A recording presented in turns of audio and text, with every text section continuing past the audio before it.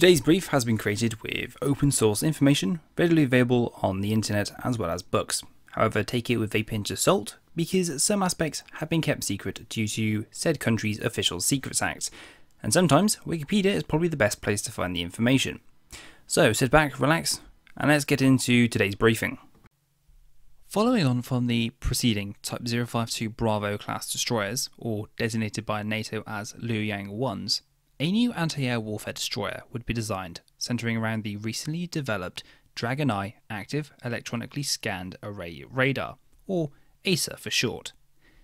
This vessel is designed to be using the same hull as the previous class, with her sharp angled bow and good length to beam ratio. Designed by the Jiangnan shipyards in Shanghai in the eastern part of China, the hulls would follow on quickly from the Bravos, with 52 Bravo Hull 2 being laid down in 2001, with 52 Charlie Hull 1 being laid down in late 2001. Looking at the comparison between the Type 052 Bravo and the up and coming Type 052 Charlie at the time, the main visual difference would consist with the forward superstructure. Where the Luyang 1 class used a bridge similar to that of something from the Russian Navy, with an enclosed mast with top plate at top, and the aft had a small raised platform with a radome for a target acquisitional radar. These Luyang 2s would take the same features as that of an Aegis capable vessel that were operating at the time.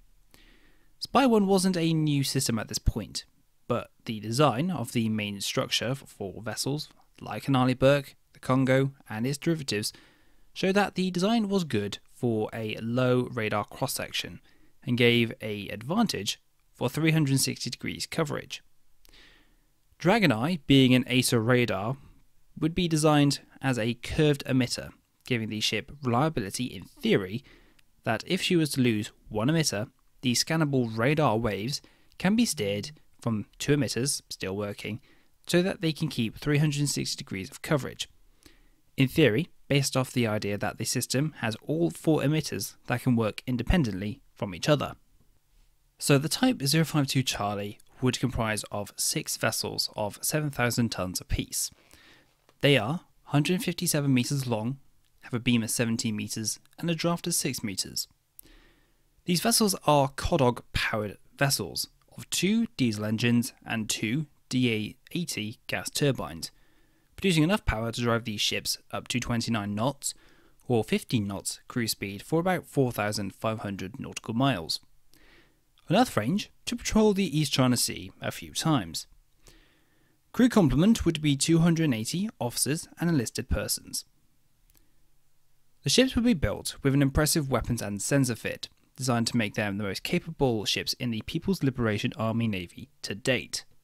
Each ship is fitted with one Dragoneye 2 multifunctional dual band AESA radar with four different planar arrays. These are operating in the Echo Foxtrot and Golf slash Hotel bands, with two emitters per face operating in Echo Foxtrot and one in Golf slash Hotel. The maximum expected detection range is realistically about 150 nautical miles from a given unit based on the atmospherics. One Type 517 Hotel Knife Rest alpha band early warning radar, designed for long range detection and detection of low radar cross section aircraft. This radar is expected to have a range of about 180 nautical miles, however is limited to only being a two-dimensional radar. 1 Type 364 Early Warning Golf slash Hotel Band radar. This radar again is also two-dimensional but has an estimated range of about 90 nautical miles. 3 Cage India Band navigational radars with an expected range of about 30 nautical miles one Type 344 fire control radar for the ship's main gun, two LR66 fire control radar for the Type 730 close-in weapon systems, and finally one bandstand fire control radar for the ship's anti-surface missile systems. The ship is armed with two quad YJ-83 Eagle Strike anti-ship missiles located aft of the main mast. The open source kill line is about 215 nautical miles and is a subsonic missile. 8 6 barrel vertical launch silos for the HHQ 9 surface to air missile system. This missile's capabilities are that it can strike a target out 162 nautical miles with a speed of Mach 4.2 and can hit a target flying at a height of 134,000 feet. One 100mm gun located on the bow and is capable of shooting out to 9.4 nautical miles. Two Type 730 30mm close-in weapon systems located forward and aft, capable of shooting out to 1.6 nautical miles. Two triple anti-submarine warfare torpedo launchers located in the hull, and four 18-barrel rocket launchers for anti-submarine warfare weapons and generalized decoys. The aircraft capabilities of this class would consist of a single hangar capable of housing a Z9 Harbin or a KA-27 Helix variant. So the class would be built by the Jiangnan shipyards in Shanghai in two batches. The two original ships, DDG 170 and 171, would be laid down in June 2001 and launched on April 29th and October 30th, 2003, commissioning into the People's Liberation Army Navy on July 18th and in December 2005 as the destroyers Lanzhou and Haikou, entering service with the Southern Territory Navy based out of Yulin Naval Base. This is highly likely based off an image in the background, as you can see here, of the Haikou alongside the East Pier provided by Google Earth. Now, in this image, 170 isn't actually visible in the imagery, which might suggest she's either at sea or she isn't actually based at Yulin Naval Base. Lanzhou and her sister ship Haikou would start their operational careers off with drills in the South China Sea during 2007. As they were the newest anti air warfare vessels in the fleet, it was envisioned that they would act as a flagship in operations for Chinese fleets in up and coming deployments envisioned by the People's Liberation Army Navy High Command. The plan at the time was they wanted to become a blue water navy, and these ships were ideal units to help with that cause.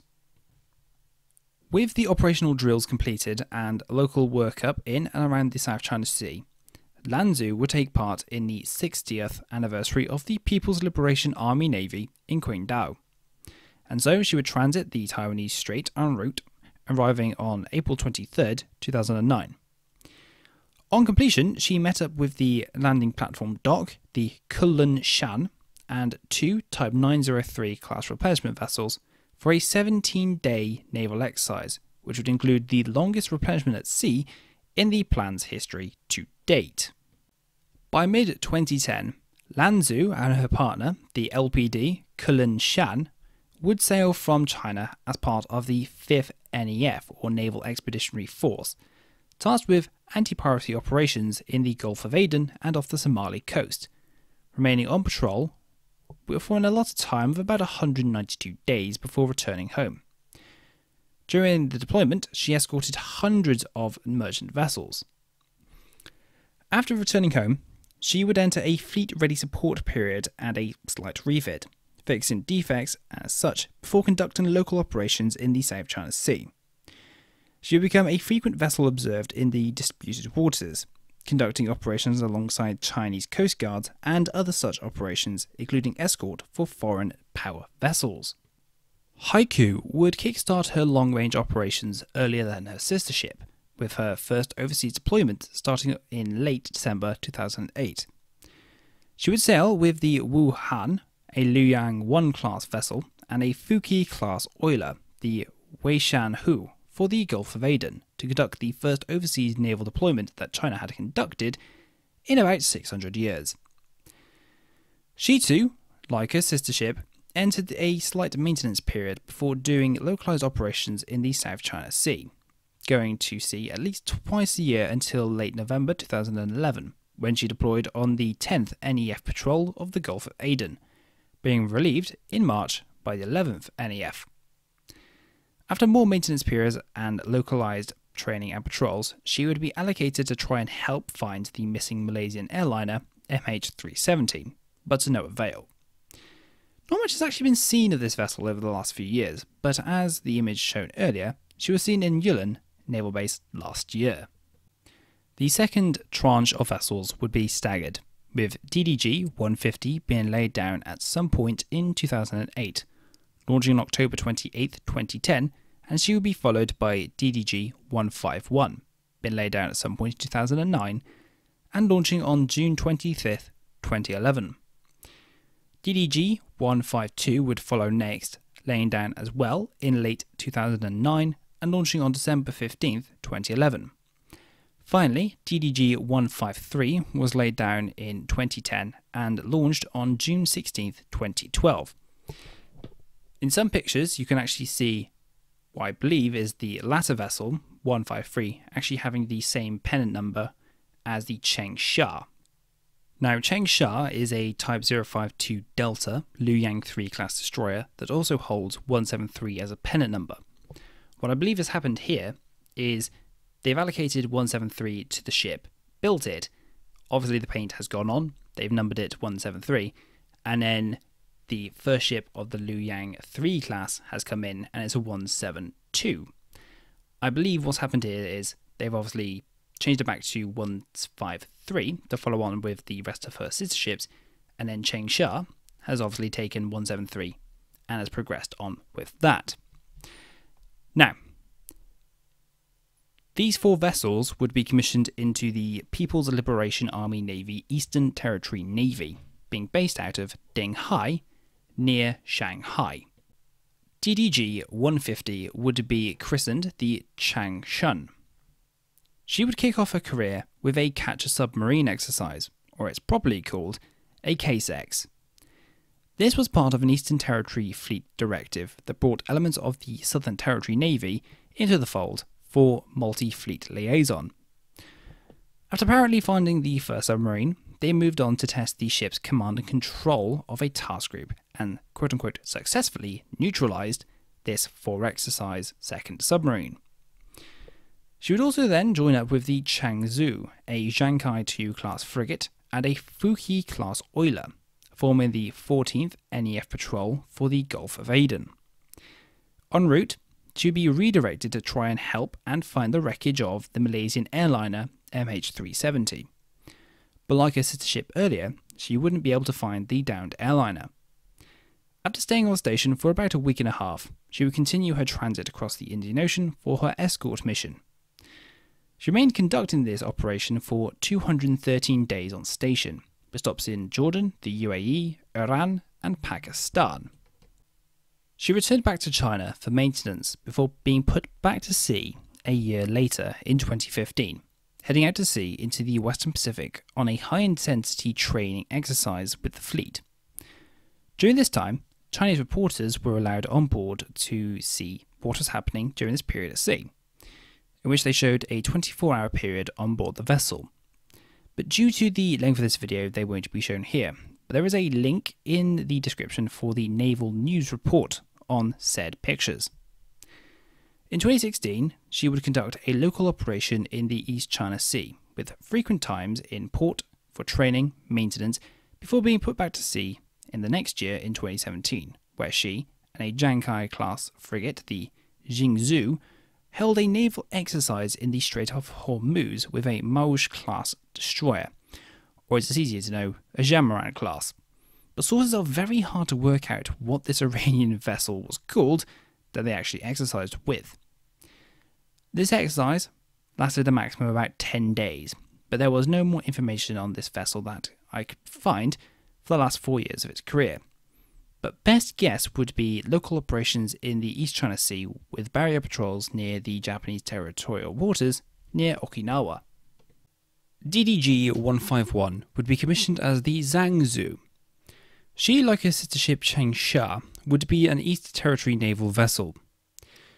Her service career would be more of a PR ship for the first couple of years, with being part of a joint Sino Russian task group in which she conducted case X's, surf X's, and an at anchor self defense exercise. But in addition to this, she was spend many times in port for celebrations and other naval related events. But back to the real thing. She would make a few interfleet transits and patrols of the East China Sea, but the foray into the West Pacific alongside a Sovereignty 3 class destroyer, two Jiangkai 2 class frigates, a Fuki 1 class oiler, and a Dongdiao class AGI. But this wouldn't last that long, and they would be on their way home by mid 2015 for usual East China Sea patrols and refits until Christmas Day of 2016, when the Japanese reported she had formed part of the Liaoning carrier strike group for her sea trials. This task group would include the Lao Liaoning, Zhengzhou, Haikou, Qingsha, Yantai, Yili, Zhengzhou, or sorry, Zuzu, and the replenishment ship Gaoyou. A pretty large group of three destroyers, three frigates, and an auxiliary. It's unclear if she's still part of the carrier strike group, but it's likely she has been replaced by a Luyang 3 class destroyer. DDG 152 would be commissioned as the Jinan into the East Territory Navy. She would form the destroyer aspect of the 20th NEF patrol to the Gulf of Aden alongside the Jiangkai 2, the Yiyang, and the auxiliary, the Qingdao Hao. She would relieve the 19th NEF and conduct her escort operations in the Gulf of Aden. After a couple of months on the station, she would be relieved by the 21st NEF, but instead of sailing back across the Indian Ocean, she would sail west into the Atlantic, but into Stockholm and conducting a PASSEX and FOSSEX with the units of the US Atlantic Fleet. She would also put into Mayport, Florida, and would be the first ship from China to enter Florida. After this port visit, she would sail home with her task group for a maintenance period before conducting local operations in the East China Sea for the rest of the decade. Finally, DDG 153 would be commissioned as the Xi'an. She would be assigned to the Eastern Territory Navy. She would spend her first year working in the East China Sea before sailing for RIMPAC 2016, being the flagship for the Chinese task group. This task group, including the Qingdao, a submarine support vessel, the Hengshui, a Jiangkai 2 class frigate, the Gaoyouhu, a Fuki class auxiliary, and the Peace Ark, a hospital ship. After the completion of the exercise, she transited back to the East China Sea, where she was put into port for defect rectification. Over the next two years, she was seen at sea a few times in the East China Sea, conducting operational patrols, local operations, before 2019, when she'd be sent on an out of area deployment to European waters, alongside the Type 071 Yuzhao class LPD and an oiler with a port visit to Holland in July 2019. Additionally, she would attend the naval parade in St. Petersburg at the time. Before her return transit, she would sail through the English Channel, being escorted by HMS Westminster. As usual, she conducted a safe and professional transit through the British waters before sailing back home via the Suez Canal. Like her sister ship, she would conduct a maintenance period upon arrival home. She has continued the trend of her sister ships, where she has been conducting local operations and patrols in the East China Sea, as well as conducting interfleet transits. Current open source information shows that all units are currently in service, and there is no information about these ships being removed in the near future. Due to the lack of information, I have had to use information that I have observed whilst operating near these vessels or have seen movements from afar, and as such, the blanks I have found in this research I have filled with such information.